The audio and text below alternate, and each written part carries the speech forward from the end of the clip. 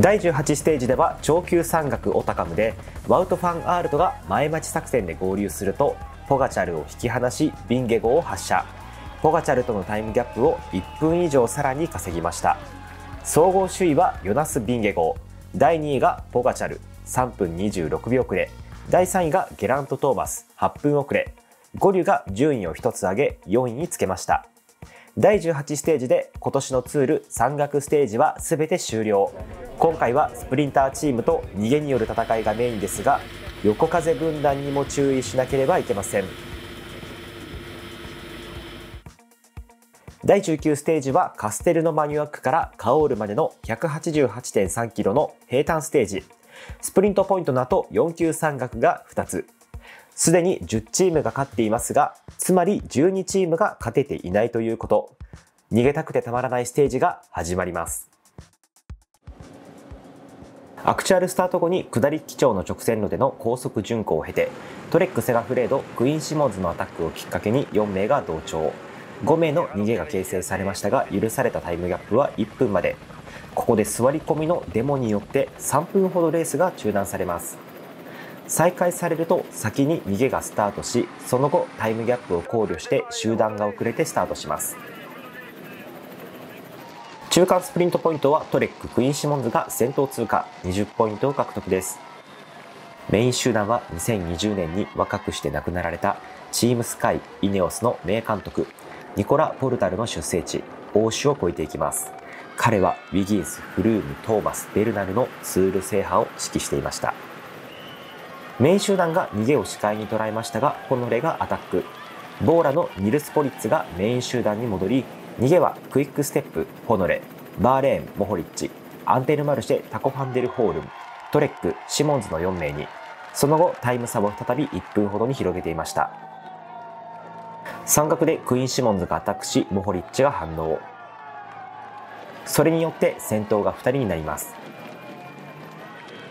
クイーン・シモンズが再びアタック。ここから彼の一人旅が始まります。残った3名はメイン集団に吸収されました。そして後方では途半や横風で中切れが発生。今回の優勝候補であるヤコブセンやピーダスンが第2集団に取り残されました。ポガチャルはメカトラに見舞われますがアシストの力で集団へ復帰します。2つ目の山岳を越えた後逃げていたシモンヌが吸収されヤコブセン・ピーダスンも集団へ復帰。ポガチャルも集団に戻ってきたのですが逃げを狙う選手の流れに乗じてここでアタック。それをワウト・ファン・アールトがチェックしこの動きを封じ込めました。慌ただしい展開となったメイン集団ですがバーレーンフレッド・ライトトレック・ヤスパー・スティーベン B&B ホテルズアレクシー・グジャールの3名が逃げに乗ると落ち着きを取り戻しました。タイムギャップは30秒。フィニッシュ手前で捕まえたいところなのですが、メイン集団では誰が前を引くか問題で危うい時間が続きました。イオンボビスマはビンゲ号を安全に救済処置が施されるラスト3キロまで運ぶのが最優先事項。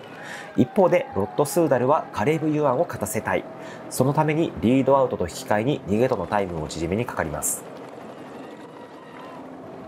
ラスト1.4キロコーナーを曲がったところユンボのラポルトが前の逃げに飛び移る形でジョインアルペシンの選手が戸惑っています。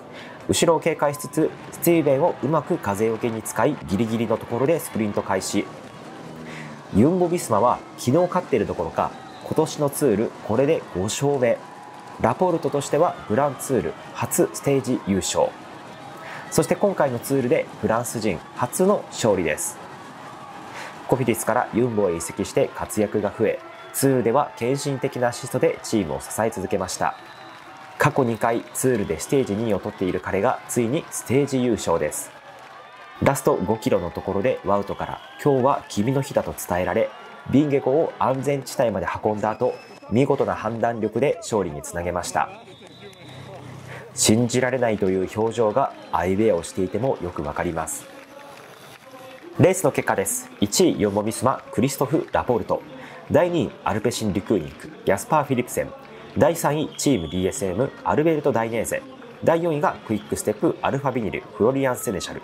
なんと、ポガチャルが第5位に入っておりました。総合成績です。1位、ユンボ・ヴィスマ、ヨナス・ビンゲゴー。第2位、UAE チームエミレーツ、タデイ・ポガチャル。映像では3分21秒くらいでタイムギャップを縮めたことになっていますが公式のリザルトを確認したところ3分26秒で変わっていません次の第20ステージはラカベルマリバルからロカマリュールまでの40.7キロタイムトライアル。中間計測ポイントは3カ所。全体的に見ればなだらかなコースプロファイルですが最後に短い上りが2カ所待ち構えます。49分前後の全力疾走。2020年マイオジョーヌをかけた最終決戦です。